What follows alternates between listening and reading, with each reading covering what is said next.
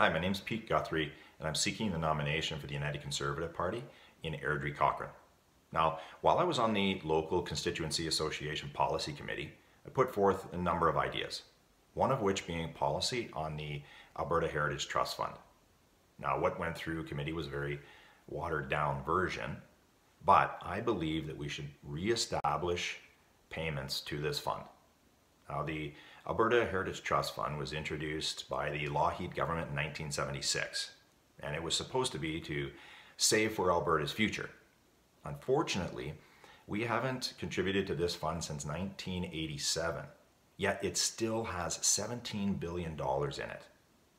If we were to have, well, if Alberta was to have maintained payments to this fund for the last 30 years, we could easily have 10 times this amount to draw upon.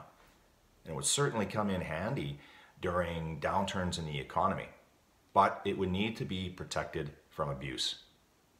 I think what we should do though is upon getting to a balanced budget, we should reestablish payments. Even if it's just a few percentage points of royalties, this would add up significantly long term, but it would also create a habit of forced savings.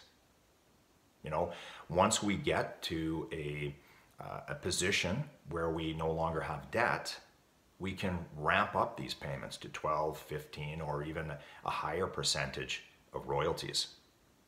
Now, I think though we should look to creating some rules around withdrawals. You know, for instance, um, government shouldn't be allowed to take out or access more than half of the interest generated in any one year for general use.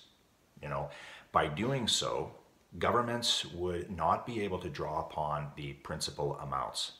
So by implementing rules such as this, we'll be assured that the fund will grow in years to come and be able to contribute in a meaningful way to things such as infrastructure, healthcare, education, and to keeping our taxes low.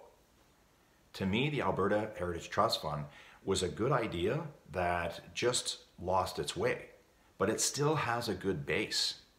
I think we should reestablish our commitment to the fund and to Alberta's future. Thank you for tuning in.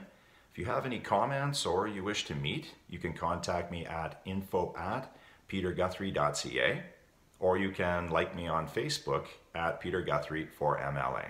Thank you.